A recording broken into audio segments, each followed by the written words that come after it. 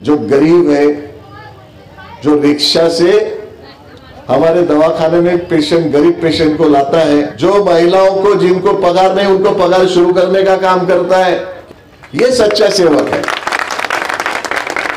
तो ये सेवक ने कार्यक्रम किया है, इस नमस्कार, आप देख रहे हैं बीके टाइम्स न्यूज़ और मैं हूँ आपके साथ छवि। महाराष्ट्र राज्य में इन दिनों राष्ट्रीय कांग्रेस पार्टी की जन संवाद यात्रा राज्य के अलग अलग जिलों में शुरू है। जिसके चलते कल 12 सितंबर 2023 मंगलवार को पूर्व मंत्री बाला साहब थौरात के नेतृत्व में जलगांव शहर में जन संवाद यात्रा निकालकर शहर के तंबापुर क्षेत्र में जाकर बागवान मेंबर के प्रयासों से ज़िले के पदाधिकारियों की उपस्थिति में भव्य सभा का आयोजन किया गया। तो वहाँ पर मौजूद बाला साहब थोरात ने पक्ष को मज़बूत कराने वाले चुनाव में कांग्रेस पार्टी के उम्मीदवारों को कैसे जीत दिलाई जाए का मार्गदर्शन किया।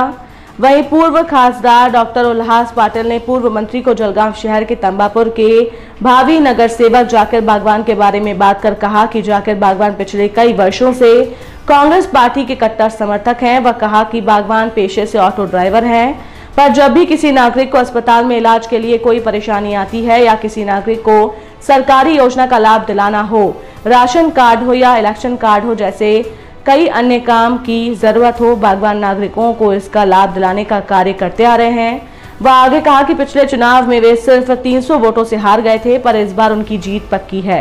जिसका वे प्रयास करेंगे, वहीं जाकर बागवान ने पार्टी के पूर्व मंत्री व पक्ष के पदाधिकारियों को विश्वास जताते हुए कहा कि वे जब तक राजनीति में रहेंगे, तब तक कांग्रेस पक्ष के साथ रहकर नागरिकों के हित में कार्य कर, नागरिकों की सेवा करेंगे। इस समय बाला साहब थोराट पूर्व मंत्री शरद एयर महाराष्ट्र उपाध्यक्ष, पूर्व खासदार डॉक्टर उल्लास पाटिल, कोडक्कड़ श्याम तायडे, शहर अध्यक्ष देवेंद्र मराठे, युवक जिला अध्यक्ष, पूर्व खासदार डॉक्टर उल्लास पाटिल, कोडक्कड़ श्याम तायडे, शहर अध्यक्ष देवेंद्र मराठे, युवक जिला अध्यक्ष आदि मौजूद रहे। सभा करतो आहोत. श्यामभाऊ तायडे यांनी जळगाव जनसंवाद यात्रा केली. जिथं जितके वार्डामध्ये कार्यकर्ते असतील त्यांना बरोबर घेतलं सगळ्यांना नमस्कार केला तिथं पत्रकं वाटले आणि सगळ्यांना विनंती केली की देशाची परिस्थिती समजून घ्या राज्याची परिस्थिती समजून घ्या काँग्रेसचा विचार समजून घ्या आणि काँग्रेसला देशाच्या भवितव्याकरता काँग्रेसला मदत करा. काँग्रेसच्या पाठीशी उभं राहा. मी आज जळगाव जिल्ह्यामध्ये फिरत होतो. आणि त्यांनी सांगितलं की एक सभा आपण करूया एक सभा जळगाव शहरामध्ये करूया. आणि त्या निमित्तानं आम्ही सर्वजण डॉक्टर आम्ही सर्वजण इथं आलेलो आहे. डॉक्टर हे व्यक्तिमत्व असं आहे की तेरा महिन्याकरता फक्त ते खासदार राहिले. परंतु अजून लोकांना खासदारच वाटतात. लोकांमध्ये संपर्क ठेवला चर्चा सतत करतात मदत लोकांच्या पाठीशी उभे राहतात. आणि म्हणूनच आपल्या सगळ्यांना एक महत्वाची जबाबदारी पुढची आलेली आहे की हा देश पुढच्या कालखंडामध्ये कसा चालणार? या देशाची लोकशाही जी आहे जो मताचा अधिकार तुम्हाला आहे जो भारतरत्न डॉक्टर बाबासाहेब आंबेडकरांनी आपल्याला दिलेला आहे त्यांच्या राज्यघटनेच्या लिखाणातून मिळालेला आहे तो पुढच्या काळात राहणार की नाही अशा वळणावर अशा परिस्थितीत आपण आलेलो आहोत. खरं या देशाकरता सगळ्यात महत्वाचं आपण पाहतो की स्वातंत्र्य जे मिळालं ते महात्मा गांधीच्या नेतृत्वाखाली. राज्यघटना जी झाली ती डॉक्टर बाबासाहेब आंबेडकरांच्या नेतृत्वाखाली. आणि म्हणून हे दोन व्यक्तिमत्व आपल्याकरता आपले आदर्श असले पाहिजे. त्यांनी मताचा अधिकार दिला. घटनेनं मताचा अधिकार दिला. म्हणून तुमच्याकडं कोणी पुढारी असला तरी येतो. हा? ज्या राज्यघटनेनं आपल्याला मताचा अधिकार दिला. सगळे मोठे मोठे पुढारी शेवटी तुम्हाला तुमच्या गरीब माणसाकडे सुद्धा झोपट पट्टीमध्ये सुद्धा येतात हात जोडतात म्हणतात मला मतं द्या. आणि तुम्ही म्हणू शकता कसे मतं द्यायचे? तुम्ही कामाचं काय केलं आमच्या? पाण्याचं काय केलं? विजेचं काय केलं? रस्त्याचं काय केलं? हा अधिकार तुम्हाला जो हक्क दिलेला आहे तो आपल्या राज्यघटनेनं आपल्याला दिलेला आहे आणि तो बहुमोल आहे. सगळ्यांना समान संधी आपल्याला दिलेली आहे. देशातले सगळे नागरिक समान सगळ्यांना समान संधी हे आपल्याला राज्यघटनेनं दिलेलं आहे. आणि ते जपण्याची जबाबदारी तुमची आमची आहे. ते सगळं काही आपले हक्क संकटात आहेत हे तुम्हाला या निमित्तानं सांगतो. या देशासाठी जे काम केलेलं आहे काँग्रेसनं पंडित जवाहरलाल नेहरू किती काळ जेलमध्ये होते माहिती तुम्हाला? पंडित जवाहरलाल नेहरू हे दहा वर्ष तुरुंगात राहिले दहा वर्ष तुरुंगात होते पंडित जवाहरलाल नेहरू. महात्मा गांधींनी तर गोळ्यात झेलल्या छातीवर. इंदिरा गांधी इंदिरा गांधी तुमच्या आमच्या करता लढणार अशा प्रकारचं व्यक्तिमत्व नेतृत्व आपलं त्यांच्यावर गोळ्या झाडल्या मशीन गनच्या छिद्रे एवढे पडले का मोजता येण्यासारखे नव्हते. राजीव गांधी तुमच्या आमच्या करता देशाकरता देश सामर्थ्यवान बनवण्याकरता काम करत असताना देहाच्या चिंधड्या त्यांच्या झाल्या. हे काँग्रेसचं बलिदान आहे तुमच्या आमच्या करता माझं एकच प्रश्न याच्यानंतर की भारतीय जनता पक्षाचं असं एखादा त्याग दाखवा. काय त्याग त्यांनी केला देशाकरता? तुम्हाला काही त्याग दिसणार नाही. ना ते स्वातंत्र्य चळवळीत होते ना देशाच्या विकासाकरता काही केलं. त्यांनी सोपा उपाय शोधला. कामं करायचे विकासाची काम करायचं आणि त्याच्यामधून सगळ्यांना बरोबर घेऊन जायचं आणि त्याच्यातून मतं मागायचे. हा एक प्रकार आहे एक राजकारणाची पद्धत आहे. सगळ्यांना बरोबर घेऊन जायचं. जात धर्म पंथ काही नाही. सर्व समान. सगळ्यांना बरोबर घ्यायचं सगळ्यांना न्यायचं देशाला सामर्थ्यवान बनवायचं. हे एक पद्धत. परंतु ती पद्धत काँग्रेसची पद्धत आहे. राज्यघटने पद्धतीनं चालण्याची पद्धत काँग्रेसची पद्धत आहे. आदरणीय सोनेजी असतील मनमोहन सिंगजी असतील पहा त्या दहा वर्षामध्ये सुद्धा तुमच्या आमच्याकरता खूप काम त्यांनी केलं खूप निर्णय त्यांनी घेतले. आणि दुसरी पद्धत आहे सोपा उपाय शोधलाय राजकारणात. जाती जातीमध्ये वाद लावायचे धर्माधर्मामध्ये वाद लावायचे संघर्ष करायचा दंगली करायच्या आणि दंगलीच्या माध्यमातून मताची पोळी भाजायची आणि सत्तेवर जाऊन बसायचं हे भारतीय जनता पक्षाने सुरू केलं. आणि म्हणून आपल्याला जे टिकवायचं आहे ती काँग्रेस टिकली पाहिजे तर देश पुढच्या कालखंडामध्ये चांगलं काम करणार आहे. आणि त्यासाठी भक्कम आपण सगळ्यांनी काँग्रेसच्या पाठीशी राहण्याचं काम आपण केलं पाहिजे. आपण पाहतो आता राज्य सरकार आलंय कसं काम करतंय? ते राज्य सरकार आलंच कसं? राज्य सरकार आलं त्यांनी माणसं फोडले शिवसेनेचे काही आमदार फोडले आणि त्याच्यातून नवं सरकार बनवलं भाजपचं आणि त्यांचं. कसं फोडलं? तुम्हाला माहिती का नाही? मला माहीत नाही. पण सगळीकडे पन्नास खोके. तुम्हाला माहिती. सबको मालूम है कि पन्नास खोके और एकदम ओके इसका मतलब क्या? इसका मतलब पैसा उन्होंने दिया और लोग लेके गए, ऐसा कुछ दिखता है ये सब? छोटे छोटे लोगों को भी मालूम हो गया। गाँव के जो लोग हैं, उनको मालूम है। उन्होंने ते हमारा जो बैल होता है ना, बैल पोळा होता है त्योहार मध्ये पाच लाखापेक्षा जास्त लोक आले आणि ज्यावेळी लक्षात आलं का सगळा सपोर्ट आता काँग्रेसकडं आणि राहुलजीकडे चाललाय परत गडी फिरकला नाही इकडे. तो मंत्र तो मुख्यमंत्री परत आलाच नाही. हे चित्र बदललेलं चित्र आपल्या सगळ्यांना दिसतंय. आणि त्यामुळं महाराष्ट्रामध्ये सुद्धा आपल्याला विधानसभेमध्ये आघाडीचं सरकार आपलं येणार मुख्यमंत्री आघाडीचा होणार हे आपल्या या निमित्तानं आपल्या सगळ्यांना सांगायचं. राहुलजींनी ही क्रांती केली. त्यांनी जी पदयात्रा काढली ती तीन हजार पाचशे साठ किलोमीटर चालली. ऊन वारा वादळ कधी कधी धुळीचं वादळ या सगळं बारिश पाऊस पडत होता. शेवटी तर श्रीनगरमध्ये बर्फ पडत होता सभा झाली कशा करता चालले ते? त्यांनी बंधुत्वाचा संदेश दिला प्रेमाचा संदेश दिला आणि सांगितलं की ही लोकशाही वाचली पाहिजे आपली राज्यघटना वाचली पाहिजे. मुलांच्या हाताला काम मिळालं पाहिजे रोजगार मिळाला पाहिजे. महागाई कमी होऊन गरिबाकरता चांगलं जीवन मिळालं पाहिजे.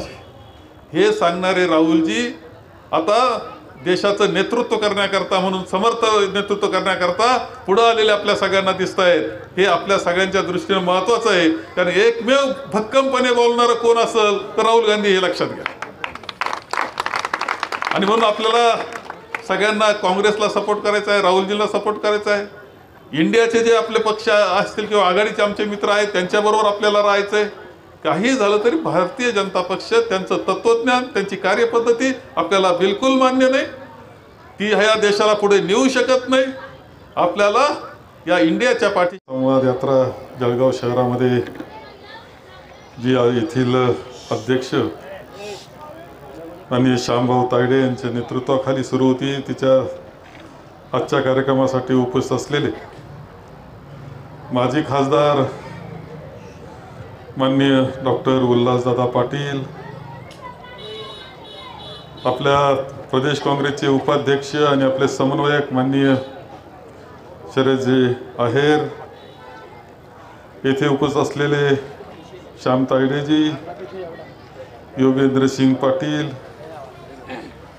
मौलाना मुक्ती हसनजी त्याचप्रमाणे अविनाशजी भालेराव, देवेंद्रजी मराठे, मुजीब पटेल मुगधीर देशमुख उपस्थित असलेले उदयदादा पाटील, बंटी भाई, भैया, जाकीर भाई, उपस्थित सर्व बंधु आणि भगिनी. मौलाना आ गए और आपके सभा में माहौल बदल गया.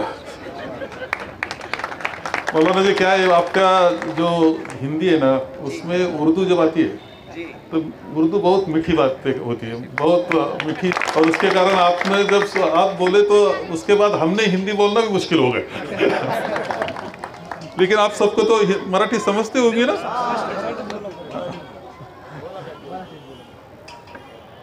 तर आज गरीब को अन्न का एक अधिकार दिया कोई भी गरीब बिना खाना खाते हुए सोना नहीं चाहिए। जिसके लिए उन्होंने कानून किया। मालूम है कि नहीं आपको? तो वो कानून करने वाली सोनिया गांधी, उनके बेटा राहुल जी गांधी और हमारे साथ में बाला साहब थोरात, ये सब लोग कांग्रेस के विचार और कांग्रेस के बारे में जो भी अभी चल रहा है और बीजेपी जो कर रही है मोदी सरकार जो कर रही है इसके बारे में आपको जनसंवाद यात्रा के माध्यम से हम कुछ बताने आए हैं। बहुत दिन से आप- बहुत समय से आप बैठे हैं लेकिन आ, मुझे सच्ची बताओ अच्छे दिन आए क्या? आए? अच्छा नौ साल हो गए। कितने साल हो गए? नौ साल पहले मोदी सरकार मोदी साहब अपने जलगांव आए थे आए कि नहीं? और उस वक्त भी उन्होंने बताया था कि मैं अ, आप तुरंत वो क्या बोलते हैं ना खाता खोलो बैंक में। आप सबने खाते खोले बैंक में? खोले ना बैंक में। आपने क्यों खोले? कि पंद्रह लाख रुपए आएँगे। अभी मेरे घर में मैं मेरी बेटी हमने सबने खाता खोला। मेरी बीवी मेरी माँ हमने कब से कब पाँच छः खाते खोल के रखे थे। चलो ठीक है अपने पार्टी के नहीं है लेकिन अपने को पंद्रह लाख तो आ जाएँगे। अभी तक कुछ भी नहीं। तो ये अच्छे दिन जो है वो किसके आए इसके बारे में यह बताया गया। बंटी भैया ने बताया शरद जी ने बताया। तो यही यही हालात चौदह साल में यह बताया कि गैस के सिलेंडर की क्या कीमत थी। आपको मालूम है, साढ़े तीन सौ रुपया थी। आपके गाँव में अभी क्या है? हाँ? ग्यारह सौ के करीब है। तो वो ग्यारह सौ के तो उन्होंने क्या किया? दो सौ थोड़ा कम किया। और वो 200 कम करने का जो जुमला है, वो किसके लिए किया? इलेक्शन के लिए। तो ये ये जो झूठ बोलने वाली सरकार है, ये जो, देखो हम सब लोग अभी बहुत सारे त्योहार मनाते हैं मनाते हैं त्योहार। हिंदू भाई हमारे हिंदू त्योहार मनाते हैं, मुसलमान भाई हमारे मुसलमान मुस्लिम त्योहार मनाते हैं, खाने तो ये लोग जो है ना, ये कुछ ना कुछ बहाना बन के लोगों में धार्मिक तीर निर्माण करते और उसके कारण वो समझते हैं कि कुछ ना कुछ गड़बड़ हो जाए और पूरी दरार हो जाए। और उसका फ़ायदा लेकर सत्ते में आते हैं और माल कमाते हैं माल। पूरे साढ़े चार साल तक माल कमाते हैं। अडानी अंबानी भी कमाते हैं, खुद भी कमाते हैं। ना खाऊँगा ना खाने दूँगा। तो इसके कारण अभी आपको मालूम है, आपको जीएसटी नाम का बम्बर शेयर आए हैं, मालूम है कि नहीं? आपको तो कुछ पता नहीं होगा, लेकिन आपको पता होगा, बुज़ुर्ग लोगों को बैठा जीएसटी है आपके दुकान में? जीएसटी है ना जी जीएसटी है ना? कितना टका है? अठारह टका है, अठारह। यानी दूध ले लो तो उसके ऊपर जीएसटी कुछ कुछ, दाल ले लो तो उसके ऊपर जीएसटी होटल में खाना खाने जाओ तो जीएसटी ये जीएसटी का पैसा जो है, वो अडानी अंबानी को जाता है। तो ये सब जो चीज़ें है, ये अभी आगे चलकर जो गुमराह नौ साल किया, दसवां साल चल रहा है, आपके आमदार आमदार भी ने क्या किया? महानगर पालिका रस्ते क्या, रास्ता क्या है? तो ये सब तांबापुरा का पूरी तरह से तरक्की करने के लिए हमने अभी जाकिर बागवान के पीछे हमारा पूरा ध्यान देने का सोचा है। चलेगा कि नहीं? जरा हाथ ऊपर करो, जाकिर बागवान चल। बहुत अच्छा बढ़िया, बहुत अच्छा। क्या क्या पॉपुलैरिटी है आपकी? बहुत अच्छा। और इतना बड़ा नेता आया मेरे लोकसभा के इलेक्शन में साहब नहीं आते। लेकिन जाकिर के लिए आते हैं। ये बहुत बड़ी खुशी की बात है।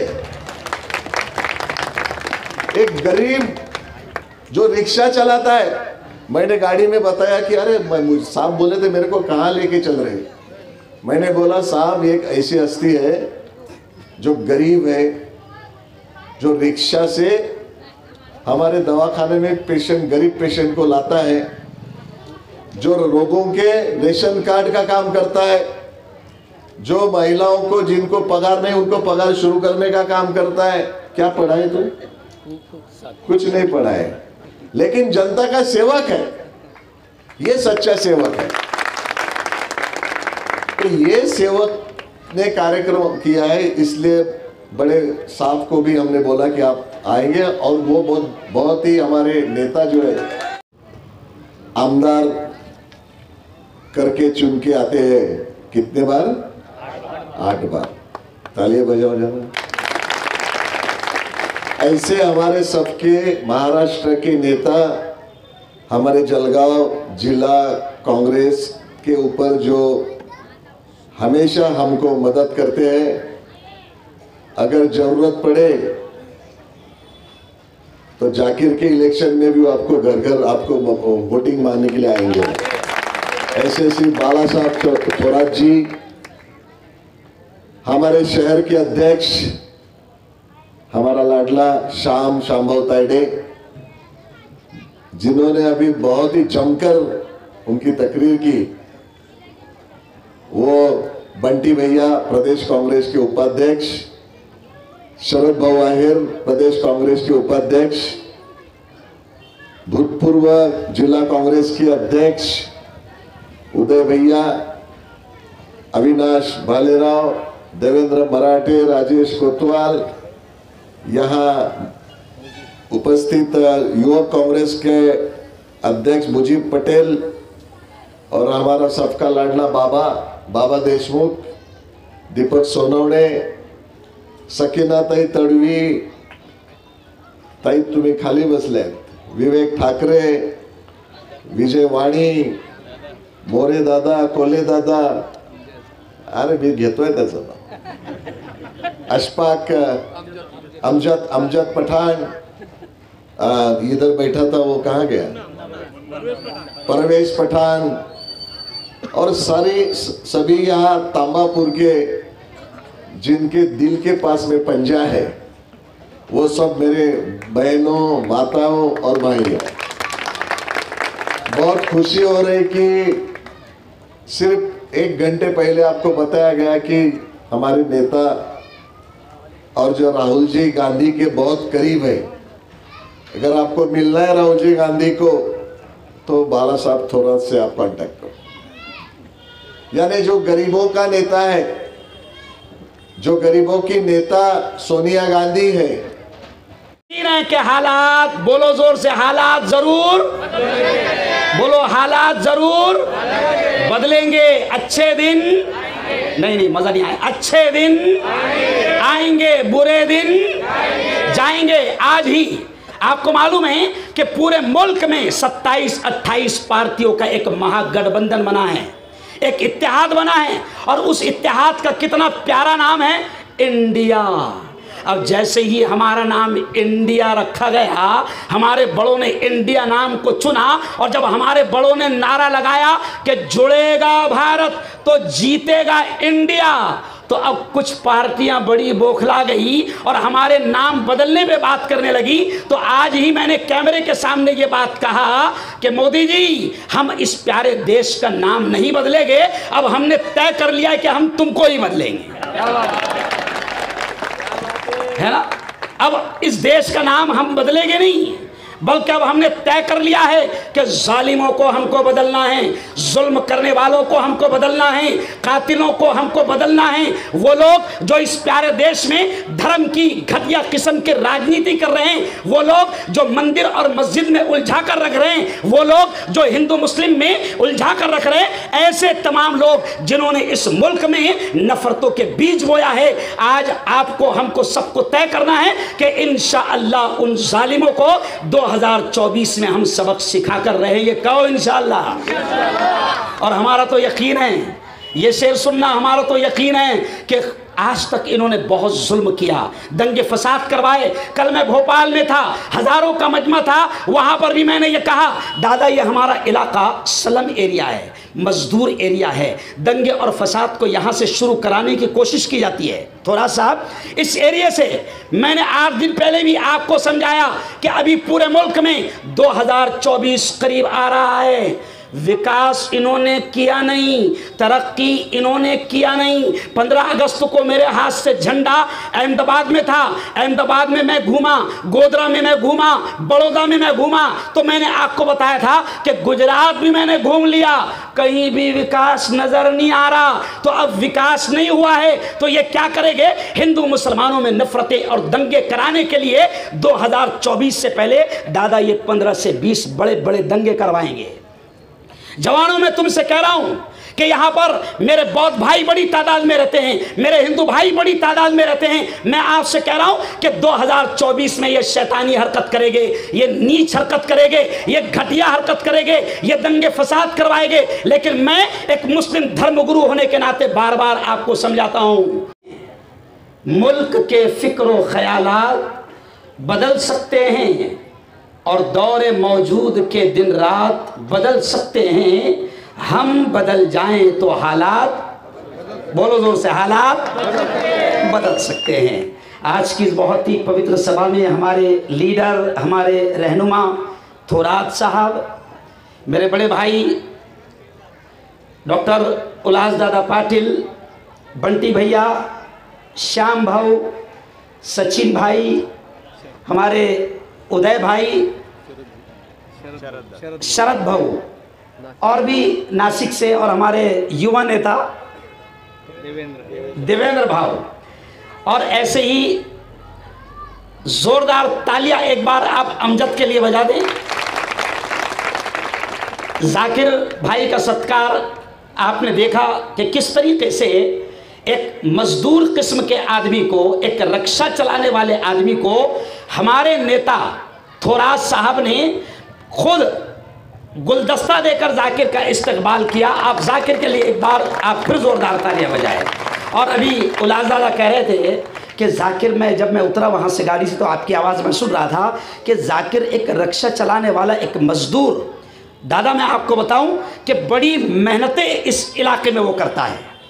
और इससे पहले जब वो इलेक्शन में खड़े थे तो हम इनके लिए गली गली घूमे थे। और तांबापुर वालों, मैं आपको क्लियर तौर से कहता हूँ कि मायूस होने की ज़रूरत नहीं है। जिस दीन और जिस धर्म के हम मानने वाले हैं, वहाँ पर पवित्र कुरान में साफ़ तौर से लिखा है, ला तकनतु मिर कि खुदा की रहमत से, उस रब की रहमत से मायूस न होना।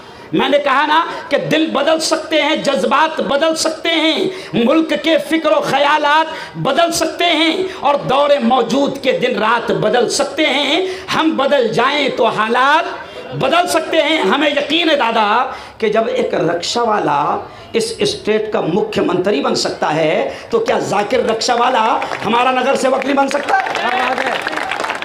अरे बोल। त्यांच्या वयाच्या पेक्षा डॉलरचे भाव जास्त झालेले. आणि आपल्या पंतप्रधानांपेक्षा मनमोहन सिंगांपेक्षा डॉलरचे भाव कमी होते. आता डॉलरचे भाव पंतप्रधान नरेंद्र मोदी यांच्यापेक्षा चार पाच रुपयांनी जास्त झालेले आज एकोणऐंशी ऐंशी रुपयापर्यंत डॉलर पोहोचलेला आहे. सांगायचं तात्पर्य आहे की याच्यातून आपला देश किती मागे गेला? हे चित्र या एक घटनेमधून तुमच्या आमच्यासमोर येतं. आणि म्हणून हे जर बदलायचं असेल तर एवढंच नाही. आज जेवढ्या कंपन्या आहेत सरकारी कंपन्या मग या ठिकाणी इलेक्ट्रिसिटी घ्या. तुमचं या ठिकाणी पेट्रोल डिझेलच्या कंपन्या घ्या. जेवढे मोठमोठे एअरपोर्ट झाले ते एअरपोर्ट घ्या. रस्ते जेवढे मोठमोठे रस्ते हे रस्ते घ्या. एवढंच नाही तर धारावी सारखी एक झोपडपट्टी आहे का जो मोठं नगर आहे आशिया खंडात नाव आहे. तिची एक वेगळी ओळख आहे. ती धारावी सुद्धा अडाणीला देऊन टाकली. नरेंद्र मोदींनी. मला माहिती आहे कदाचित तुमचा हा जो जो एरिया आहे हाही उद्या एखाद्या उद्योगपतीला देऊन मोकळे होतील. अशा पद्धतीचा कारभार या देशामध्ये सुरू आहे. आज खऱ्या अर्थानं आपला देश हा सगळा म्हणजे विकून चालवायचा कार्यक्रम हा नरेंद्र मोदींनी सुरू केलेला आहे. आणि म्हणून हे जर असंच राहिलं तर कदाचित उद्या आपल्याला फार मोठी किंमत तुम्हाला आम्हाला मोजावं लागते. आजच मोजावं लागते. तुम्हाला माहिती आहे तुम्ही जन्माला येता तुमच्यावर कर्ज किती आहे? काँग्रेसच्या काळामध्ये जे काही आपलं कर्ज होतं या देशावरती हे बावन्न हजार कोटीच्या दरम्यान होतं. बावन्न हजार कोटी. नरेंद्र मोदी दोन हजार चौथ्या किती वर्षात? सत्तर वर्षात. सत्तर वर्षात देशावर कर्ज बावन्न हजार कोटी रुपये आणि दोन हजार चौदा पासून तर तेवीस पर्यंत या नऊ वर्षामध्ये देशावर कर्ज हे एक लाख बारा हजार कोटी रुपये. म्हणजे जवळजवळ पन सत्तर वर्षात पन्नास हजार कोटी आणि नऊ वर्षामध्ये हे कर्ज पंचावन्न हजार कोटी पेक्षा जास्त झालेलं आहे. म्हणजे आज मुलगा जन्माला सगळ्यांचे मार्गदर्शक आदरणीय बाळासाहेब थोरात साहेब या ठिकाणी उपस्थित दुसरे आमचे मार्गदर्शक माजी खासदार डॉक्टर उल्हासजी पाटील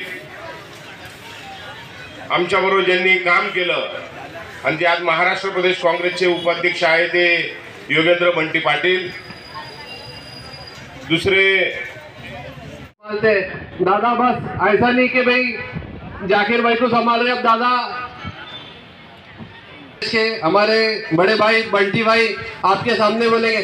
बंटी भाई, मैं यही कहना चाह रहा हूँ कि ये अल्पसंख्यक समाज, ये समाज हमेशा कांग्रेस के साथ रहा है, लेकिन इस समाज के ऊपर अभी जो ध्यान दिया जा रहा है, वो ध्यान यहाँ के स्थानीय नेता, ज़िले के नेता तो इसके बाद हमारे बंटी भैया बोलेंगे।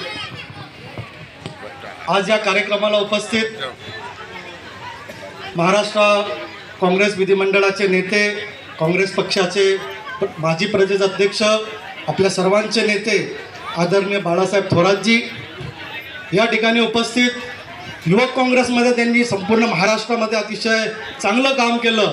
आमचे सर्वांचे नेते आदरणीय शरदभाऊ आहेर या ठिकाणी उपस्थित रावेर लोकसभा मतदारसंघाचे माजी खासदार आणि येणाऱ्या काळामध्ये भावी खासदार डॉक्टर उल्हास पाटील युवक काँग्रेस जळगाव शहर महानगर काँग्रेसचे अध्यक्ष श्यामभाऊ तायडे या ठिकाणी उपस्थित जिल्हा युवक काँग्रेसचे माजी अध्यक्ष अविनाश भालेराव जळगाव शहरातील सर्व मुजीदभाई बाबाभाई सर्व काँग्रेसचे सर्व नेतेमन आणि जी जी ज्या पद्धतीने हा कार्यक्रम आयोजित केला ते या विभागाचे ज्यांनी अतिशय चांगल्या प्रकारे मागच्या महानगरपालिकेमध्ये मतं घेतले आणि आपके सबके आशीर्वाद से आने वाले महानगरपालिका में यहाँ से नगर सेवक जो चुन के जाने वाले हैं वो जाकिर भाई और उपस्थित सर्व माता भगिनी।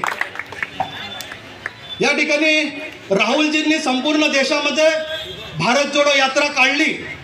आणि देशामध्ये एक वातावरण तयार झालं की सर्व धर्म समभावाचा विचार राहुलजींनी संपूर्ण भारतामध्ये पसरवला.